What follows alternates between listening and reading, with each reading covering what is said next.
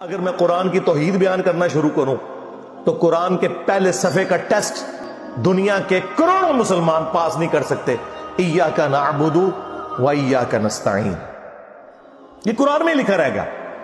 माशाल्लाह फजर की नमाज़ में ये पढ़ के निकलता है और मस्जिद के साथ जो दरबार है रेगुलरली हाजिरी दे के उस बाबे से भी मांग के घर आता है। तो क्या नमाज़ तू पढ़ी? तू मुसलमान है।